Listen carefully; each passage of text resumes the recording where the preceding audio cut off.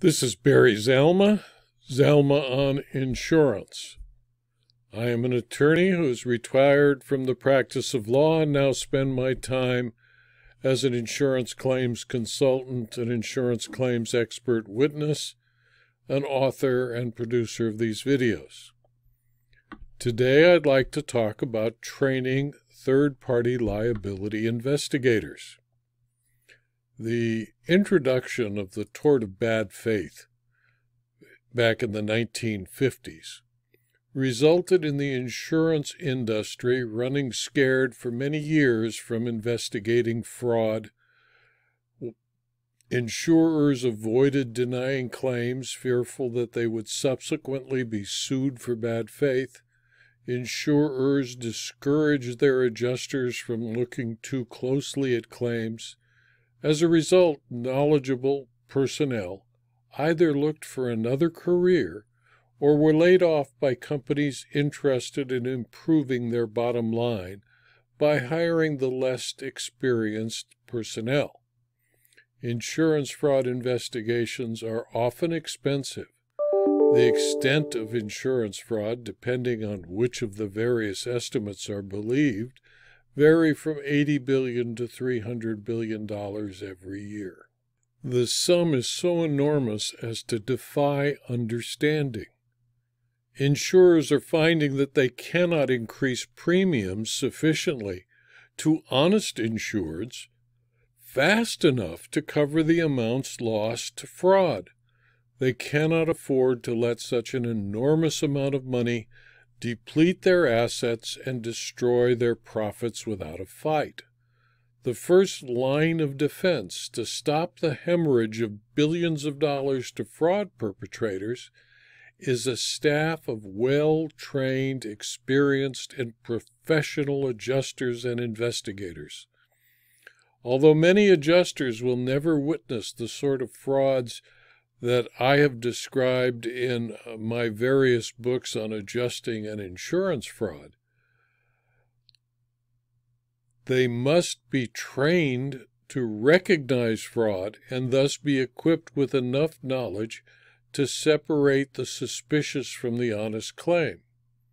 States like California, in fact, require that insurers train all of their claims personnel to recognize insurance fraud, attempted insurance fraud, and the indicators or red flags of insurance fraud or face fines and punishment from the State Department of Insurance. The laws and regulations attempting to force the victim of the crime, insurers, to investigate and prepare prosecutions for the state are unfortunately honored more in the breach than in the following.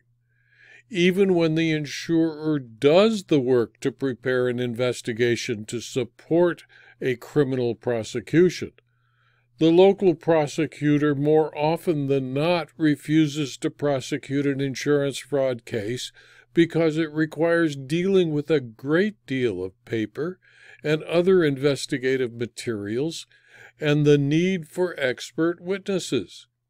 It is much easier to prosecute a violent crime with an injured victim and a few witnesses, and it is more liked by the general public that they do prosecute those violent crimes.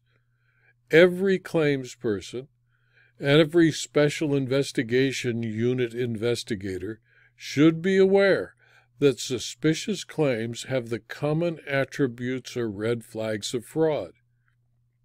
Insurers and their anti fraud organizations have collated the common attributes into lists of indicators or red flags of fraud.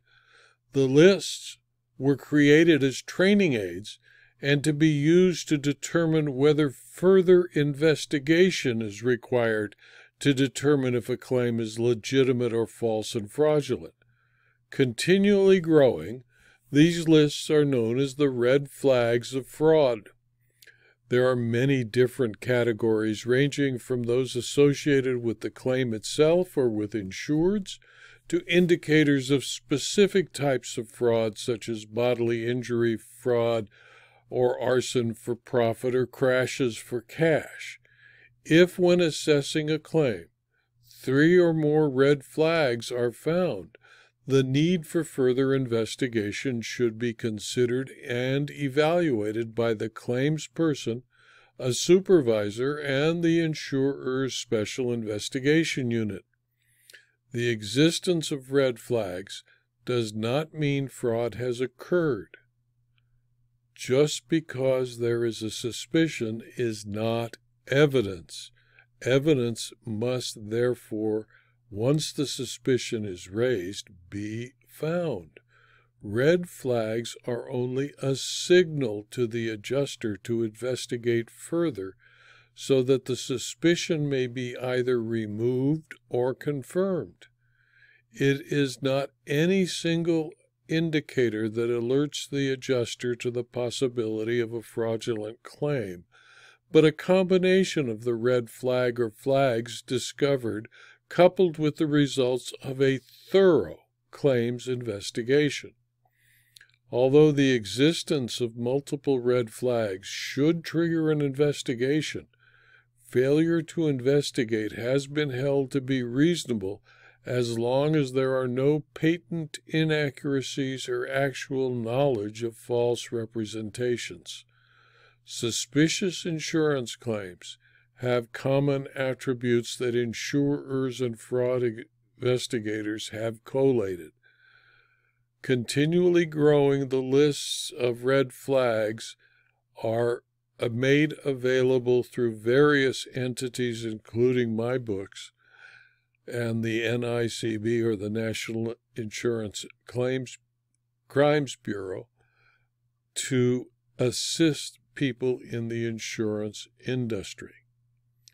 A fraud trained adjuster must understand that to turn a basic claims person into a fraud trained adjuster, the adjuster must be familiar with all of the following 1. All insurance policy contracts used by the insurer. 2. The rules applied by the courts for the interpretation of insurance contracts. 3 the Fair Claims Practices Act of the jurisdiction in which they work. 4. The regulations promulgated by the Department of Insurance in their state to enforce the Fair Claims Practices Act. 5. The statutes in their state compelling the existence of a Special Investigation Unit, or SIU. 6. The regulations established by their state concerning the training and operation of the SIU and claims personnel. 7. The law of contracts. 8. The law of torts. 9. The law of fraud. 10. The obligations of an insurer to pursue anti fraud activities. 11. Specialized knowledge for different types of insurance claims, such as sufficient medical terminology to understand the diagnoses of physicians, treatment of traumatic injuries, cost of reasonable medical treatment for traumatic injuries, methods for determining the extent of damage to structures or vehicles and the cost of repair or replacement, methods or, and methods for establishing the fair market value of items of personal property, including vehicles. 12. Interview techniques that facilitate the obtaining of detailed information. 13. Negotiation skills required for obtaining fair, reasonable, and acceptable settlements. And 13. The red flags of fraudulent claims. As an example, in a federal case, the court considering the evidence most favorable to the non moving party responding to a motion for summary judgment found it was reasonable for the insurer to investigate the issue of coverage first, where the insurer had noted several red flags, including being contacted by law enforcement authorities regarding a criminal insurance fraud investigation that included the insured. Under these circumstances, the insurer's focus on coverage before attempting to sort out plaintiff's loss of business income claims, which amounted to a combined $8,500,000, was reasonable. This was Fresno Rock Taco versus National Surety Corp. The training of a liability claims adjuster does not occur overnight. It is a tall order that requires commitment by each insurer to thoroughly train their adjusters and other claims personnel concerning the indicators of fraud. Fraud training by computer assisted training programs is available for minimal cost from private vendors like the National Underwriter Company, the IRMI, AD Banker, IRMI's Web CE, books by Barry Zalma, and other materials published by me. In addition, various insurance produced programs exist as well as programs by independent adjusting firms. Basic classroom type training for insurance personnel is available across the country in local colleges and universities.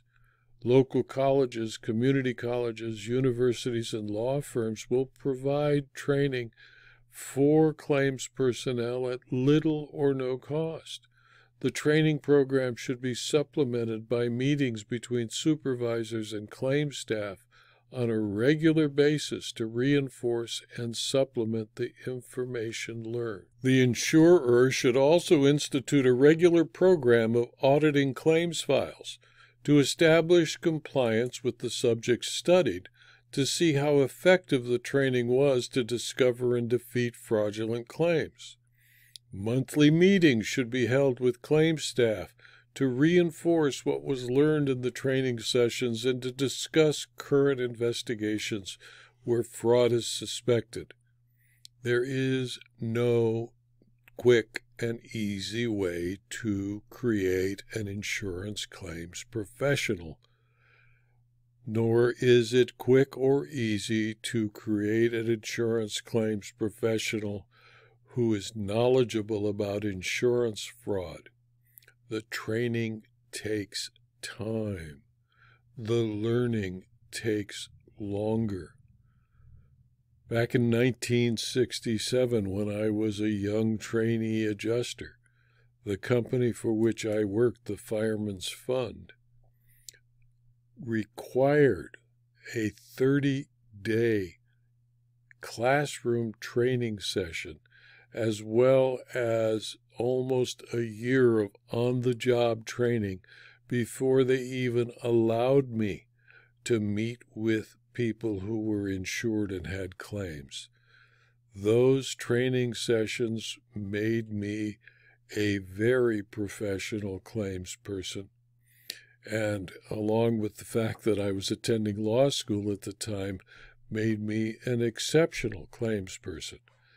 This is the kind of training that is needed to make professional claims personnel. And insurers must be willing to spend the time and energy to produce professional claims personnel for their company.